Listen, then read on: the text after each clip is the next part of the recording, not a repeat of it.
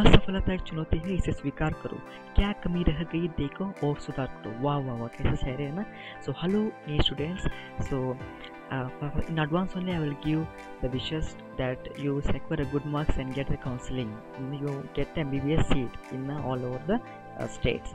So how to how the counseling happens? How first round second round third round how it goes? I will be uploading videos based on NEET counseling and when the you know how to uh, enhance your speed for your juniors also so you can just share it.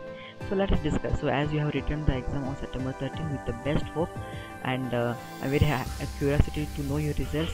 Uh, so I, I, I want to give just a small update that if you uh, you want to calculate your uh, you, you can say you know um, your percentage okay? If you want to calculate your percentage you can just uh, okay? Like example i'll take example you suppose you got 550 marks okay 550 marks. So what is the total?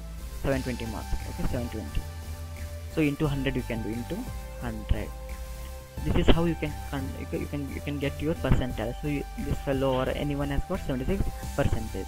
So even 76 percentage uh, 550 uh, it's good okay. How much ever it, it may be because it depends upon your state okay. Because state selection will be no upon depending upon the government so uh, like 76 percent if you you would like you you you would uh, get your bbs seat. so try counseling okay? I'll be up, uploading videos how to uh, attend the counseling and how to get selected and how to upload your documents or verification and all other things okay?